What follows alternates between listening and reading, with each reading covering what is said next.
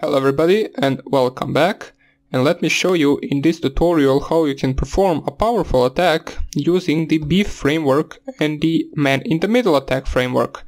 Now B framework is basically a tool used for browser exploitation uh, it can be right here. Uh, the simple use of that attack or the practical method of that attack is basically hooking other people or hooking other browsers to connect to the page which is running the code for the redirection to the hook.javascript file, which then basically creates a, zo zo a, zombie army of all the all of the machines that are currently connected on the local local network and if there are some browsers on those machines that are outdated, you can perform various types of attacks on them and actually exploit them.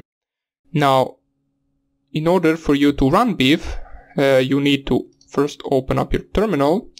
You can run it through terminal or through the applications right here. I believe it is sniffing spoofing. Okay, it is not there. Exploitation. Yeah, in exploitation tools, here it is, Beef XSS framework. I will run it from the command tool, so just type here beef minus xss and run it. And what you want to do from here is basically uh, copy this script right here and put it into your Apache 2 website. Now I will show you the entire process right here. Let me just open up the beef. So this opened automatically and the username and password for this page are both beef. So just type here beef and then beef once again. Click on the login right here and you will be prompted with page looking like this. Here you have online browsers and offline browsers. You can read this if you want to. Uh, basically, it is just something about the new users you can read if you are not familiar with the beef, uh, since we didn't cover it before. But right now what I want to show you is what you need to do in order to hook other people uh, for this type of attack. So you need to let me just zoom in, zoom in so you see it better. Uh, there is this link called the hook. What you want to do is uh, this. So you want to create a simple HTML file or any fake page or basically anything you want which is an HTML file and put it onto your Apache 2 website on your Kali Linux machine or on other machine that you run. Uh, uh, what what you want to do is include this script, which is JavaScript code, into that HTML code on your Apache 2 and every time someone opens your Apache 2 web server or website through their Google browser or search bar or anywhere else, uh, they will be running this JavaScript code which will be uh, allow which will allow us to actually exploit them if their browser is outdated. We will see them in our Beef framework on that web page that we logged in previously. So let me just show you how you can do that. So as I said before, your Apache 2 uh, folder is in var www and then html. Here you have files, basically files that will display on the page once someone types in your IP address. Now uh, for this attack I will use the Apache 2 on my uh, laptop, but I will show you how you can create uh, the the attack with Apache 2 on your Kali Linux machine. So here we have the 1.html file, which I actually want to delete for now on. And what I want to do is nano, so we will create a new HTML file, including the script code. So nano uh, script.html. Now you can call it anything you want, uh, it doesn't matter or actually it does matter, you need to call it index.html, so let me just rename it. So index.html, as I said before, if your HTML file on your uh, Web Apache 2 server isn't called index.html, it will not display it. So call it index.html, save file under different name, yes, and now we can write to the file. So we will create the most simple, the most simple version of uh, the of the HTML file. So just follow what I type right here.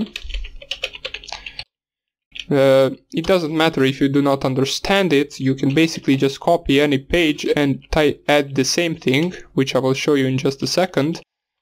I will just type a small code right here. Here we can add a title, which will be test. Now, for those of you that actually know the HTML, this will be very simple for you. For those of you who don't, you will also understand it. It's really not that hard to understand. We just create here the body tag and the head tag. And this h1 represents the header, which we will display on our page. And let's say it says just hello. We close the header with the h1 tag and the slash. And then we close the body header. Or, yeah, the body part. We also end the HTML part. Now, let us save this, so Control O and then Control X to exit. Now, we still didn't add the hook, but let me just show you, uh, or let me actually add the hook first, so you can see it. We not need to nano the, we need to nano the index.html. And what you want to do is add the hook that you copied from the, from the Beef framework. So that JavaScript code, now it is the same for everyone, where you want to add it, you want to add it to the head tag. So somewhere between this part right here and somewhere between this part right here. So let us add it right below the title, or we can actually add it above the title. So just type here script. Now this script right here is referring to the JavaScript code and this CRC right here is basically source. So what this page will do is it will source the script to the IP address that we specified to or to the folder that we specified to and it will run that script that it finds there. Now my script is located on my uh, basically on on your own IP address. So uh, what you want to do uh, is basically just check out your IP address first, which you can do simply with the ifconfig. So what you want to do ifconfig. My IP address is 192.168.1.7. So what you specify right here is equal, then uh, double quotes, and then HTTP, uh, two dots, slash slash, and then your IP address. 168.1.7 and then you again specify two dots and then you specify the port which is always 3000 it should be 3000 by default. If it is not, you can change the configuration file, but it should be uh, 3000 for you. And after that, you specify slash and then hook.js, which stands for JavaScript file. So this is the full link. Let me just, why is it? Okay, so this is the full link. And what you want to do right after is close the double quotes like this and then close the entire script code. So script and you are good to go. So right now you save this, say modified buffer, and if you can see it, this is the entire code that you need. So you need to put this in this directory right here.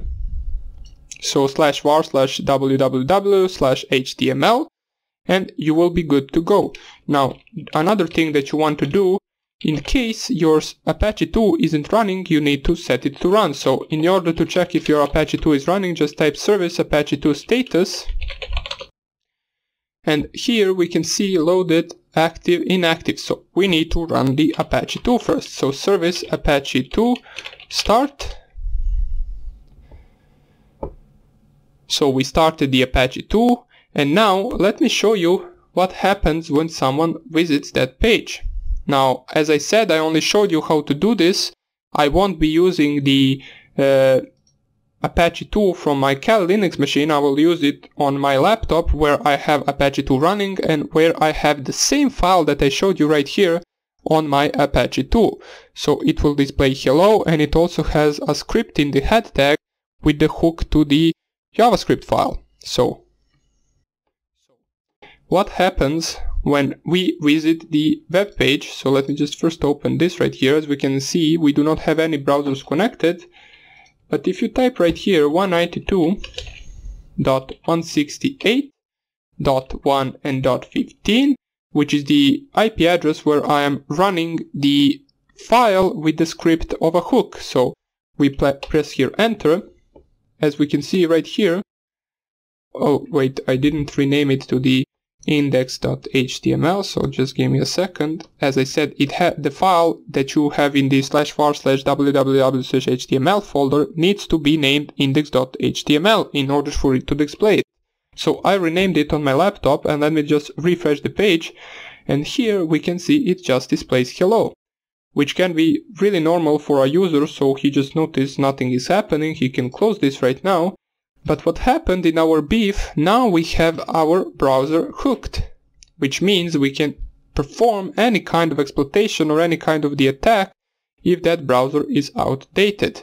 Here we can see browser is Windows NT, Windows 10, Windows 64, Mozilla, uh, you can see it is over Chrome, so Basically, you just get a bunch of these informations right here, the host, the name IP, CPU, all kinds of stuff. And what you want to, what you can do right here is basically just go to the commands and here you have the attacks that you can perform on the browser. So here are social, some social engineering attacks, clickjacking, fake last pass, Clippy, simple hijacker and some other. You can have browser attacks,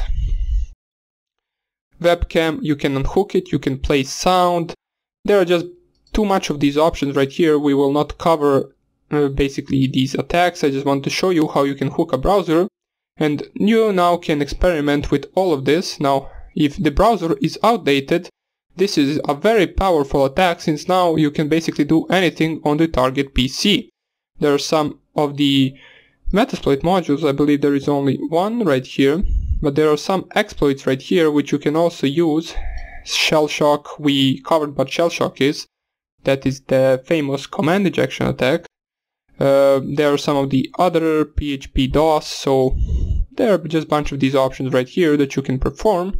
But more about that later. I just wanted to show you how you can hook a browser. Now, you might be asking right now, so what is the point? We actually, you need to get someone to type the IP address of that machine in order for it to load that page and in order for it to hook to our beef framework.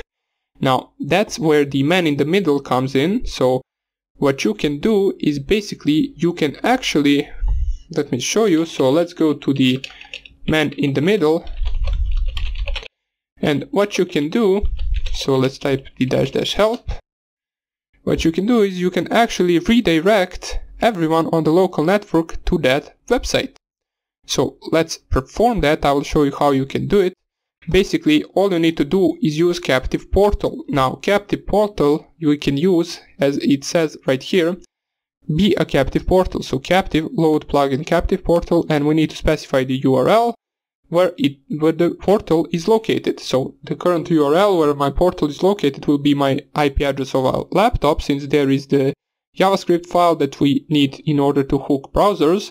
So what we need to do is basically just type mitmf minus, minus i for the interface and then we specify the uh, minus minus spoof minus minus arp. So we are performing the arp spoofing and all we need to do after the gateway which is let me just see 192.168.1.1 we need to specify captive and then portal URL and then we specify HTTP 192.168.1.15 and that should be it. So right now if I just press here run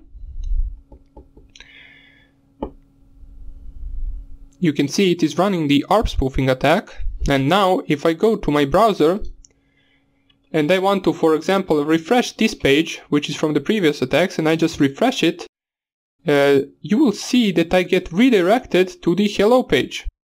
Now, this is just a redirection, but in the background, it actually ran the JavaScript code from that hook file, and it actually hooked the browser or the PC on our uh, Beef uh, framework. So we have it right here. Now, it is not hooked twice since I already have it right here. But if I were to run it from, for example, my laptop right here, so let me just visit the same HTTP page from my laptop and you will see it also um, appear right here. So I will visit the same page. Let me just go to my laptop and let's go right here. And in a few seconds, here is my laptop. As we can see, my laptop is Linux, running Mozilla, Ubuntu, Linux 64, you have some of the options, and now you can actually perform attacks on both of these machines. And soon enough, all of the machines on the local network will start appearing here, since any website you visit will get redirected to this page. Basically, no one, no one will be able to go to any other websites that are HTTP or HTTPS over SSL, they will all be redirected to this page and then their browsers will be hooked, where you can perform a different types of the attacks. So that would be it about this tutorial. Now I will not be showing these attacks right here. You can just test them yourself. They're not that too, they're not that hard to perform uh, since this is GUI and you just need to type something right here and then the attack will work if the browser is outdated. So you can try that out on yourself and we will try uh, we will try a few other different attacks before we move to the next tool uh, in the next tutorial and I hope I see you there. Bye!